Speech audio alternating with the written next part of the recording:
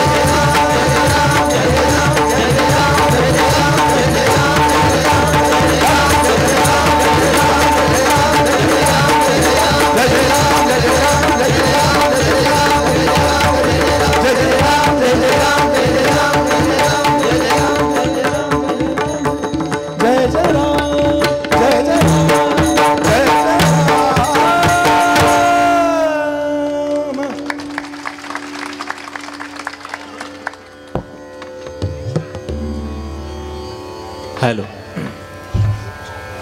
पुढे रुपावलीकडे वळताना सांगावंसं वाटतं की अगदी दोन महिने पूर्वी असताना सरांनी गुरुजी धिट्ट धिट्ट धा धा तिट ता तिट धा. पेटीमध्ये पण सारे गम पदरीसा शिकवताना पहिले सा रे गम आम्हाला पण पहिले. नुसता सा सा सा रे गामा बादानी जा सा ने दा बा रे जा फक्त एवढं सा रे गामा एवढंच आहे. पण त्याच्यानंतर ही मशागत शेतीची पूर्ण झाल्यानंतर ही मजा आहे. सा जा ग मा पा नि सा नि पा नि मा बा गा मा पा मा गा सा रे ग सा नि म्हणजे सा पा नि मा बा गा बा पा ग सा। ही तुमची शेती प्युअर सेंद्रिय शेती. असो रूपाचा अभंग. काय की बऱ्याच मंडळींना कळत नाही नेमकं काय चाललं आहे यांचं यांचं आ चाललंय. असंच तसं आम्हालाही वाटतं अरे काय शेती सगळी ओसाड पडली काहीच नाही. पण मग त्याला सांगाल बाबा आता ती नांगरणी झाली आहे. शेती आता जरा ऊन खाईल. तशी आता तू पण ऊन खा जरा आता स्वर लावून. तशी अशी शेती आहे. हे सगळं जीवन संसार जसा आपला एक संसार तसा आमचा एक राग असतो. त्या रागामध्ये वादी स्वर आहे संवादी स्वर आहे म्हणजे प्रमुख स्वर उपप्रमुख स्वर. आणि बाकीचं सगळं चलन आहे. आई बाप म्हणजे वादी संवादी आमचे. आणि लेकर बाळ म्हणजे बाकीचं सगळं चलन आहे. असे आमचे राग आहे सगळं काही नॉर्मल आहे. फक्त त्याला शास्त्रोक्त भाषेत त्या गोष्टी मांडल्या असं. म्हणजे एखाद्या गावरान शेतकऱ्याने शेती करणं आणि एखाद्या उच्चभ्रू कुठल्या शेतकी शाळेतून शिक्षण येऊन त्याने शिकवणं अशी प्रकार अशी तुलना येतो रूपाचा अभंग घेतो.